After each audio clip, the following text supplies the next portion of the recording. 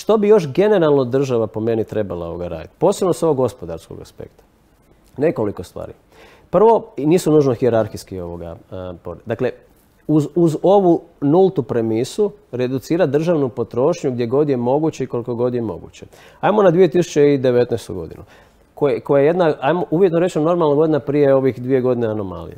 Državna potrošnja je bila oko 180 milijardi kuna. Dakle, u najširem smislu. Centralni proračun, van proračunski korisnici, e, općine, e, gradovi, županije i tako dalje.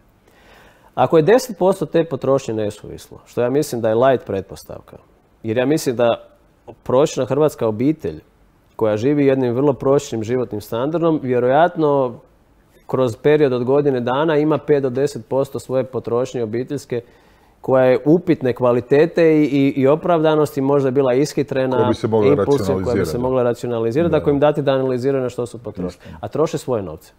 To ste rekli još konzervativno. Da. Namjerno sam išao konzervativno, samo radi jednostavnosti izračuna. A troše svoje novce. A ljudska priroda je stalna. Nitko tuđe novce na dugi rok ne troši racionalno kao svoje. E, većina državne potrošnje se događa na način da tuđu novce trošite nerijetko na neke tamo treće ovoga strane. Legalno za sebe zadržavate proviziju za svoju plaću, grijani ured i tako dalje. I sve je legalno.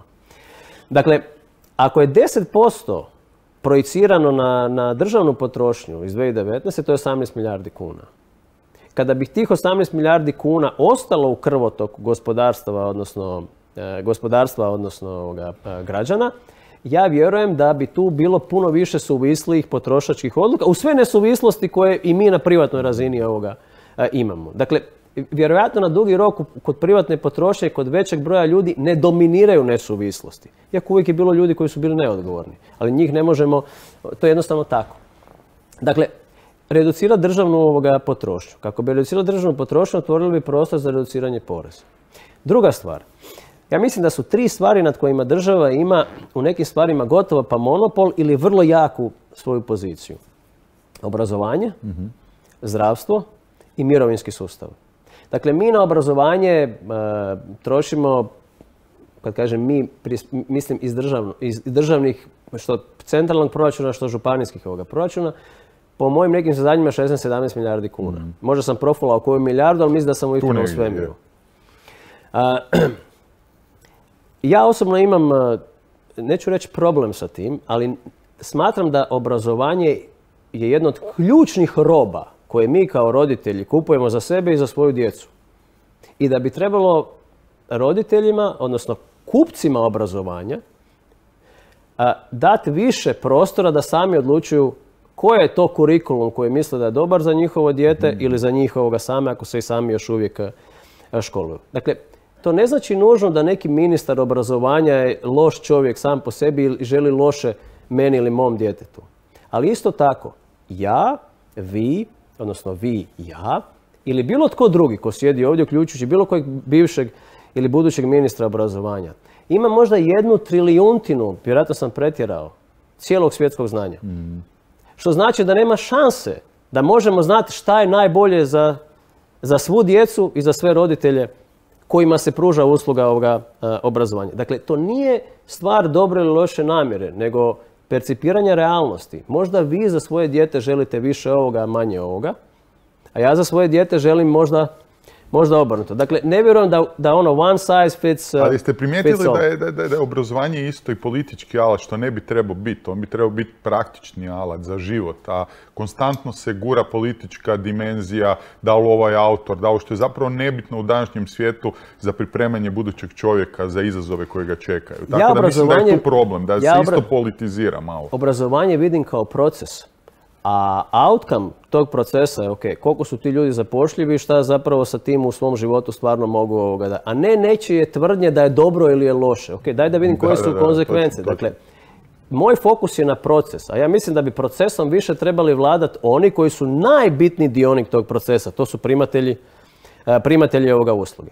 Nerijetko u konzervativnim krugovima, s kojima se ja vrlo često družim. Kao što sam rekao, ja sebe smatram konzervativcom političke konzervativne opcije smatraju da bi obrazovanje trebalo biti pod njihovom kontrolom i razvojnom kontrolom. Ali ja kažem, to nije lijek.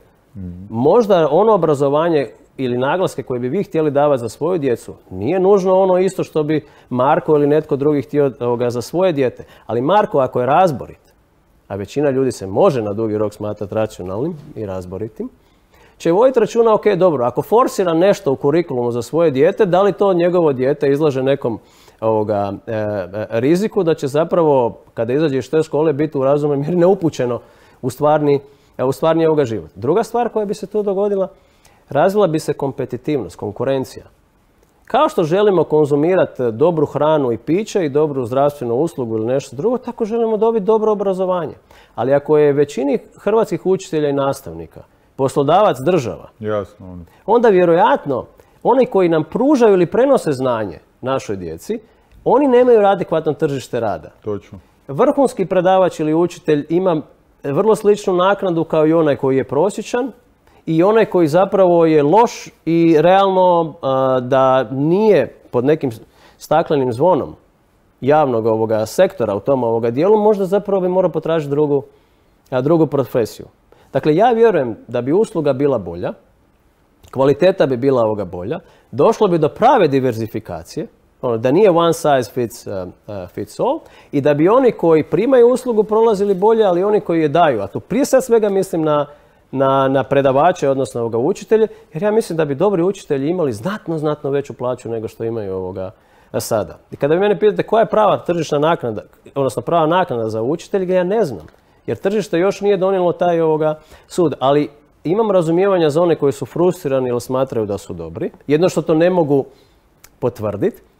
A, imam a, isto tako razumijevanja za one koji su prosječni ili ispod prosječni ili imaju legitimni interes da ih se ne dira, odnosno drži u istom košu i s istim uvjetima kao i ovi koji su, koji su vrhunski. U svakom slučaju, liberalizirati obrazovanje.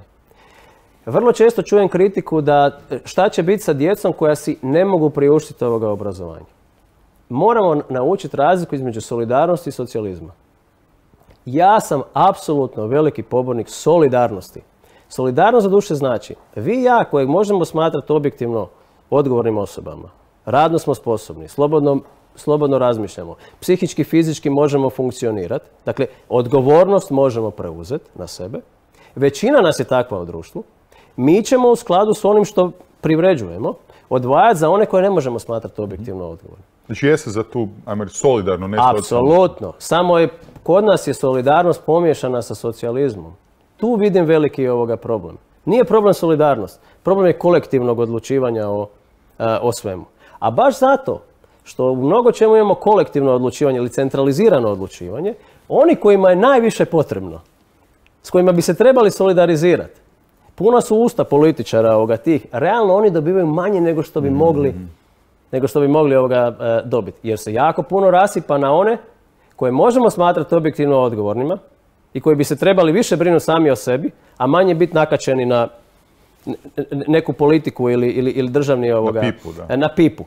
E, upravo, ovoga, upravo to. Dakle, za one koje ne možemo smatrati objektivno odgovornim, mi ćemo ovoga odvajati. I pazite, Jordan Peterson još prije ne znam koliko godina, sjećam se, gledao sam njegovo predavanje, on je tad problematizirao taj pro- uh, problem koji nije bio poznat do tada, u biti tako, rekao bih, uh, zorno prikazan. Rekao je, gledaj, američka vojska od svih kandidata, znači ona prima gotovo svakog, ali ima 10% ljudi koji ne mogu proći. Znači nemaju niti mentalne, niti fizičke mogućnosti, niti da gule krumpir, znači niti da, da čisti, ništa ne može. I sad kaže, to je puno ljudi na Ameriku od 300 i nešto miliona, to je 32 miliona ljudi koji društvo ipak mora se pobrinuti jer će imati veći problem ako se ne pobrine za njih nego da se pobrine. Tako da ta socija, i tu Amerika naravno kaska, vidimo ima hrpa tih gradova gdje, su stvarno ljudi ono, pretvorili se u, hrpe, odnosno e, šatorska naselja beskućnika, ali opet s druge strane, e, kažem, e, pozdravljam uvijek tu nekakvu, neću reći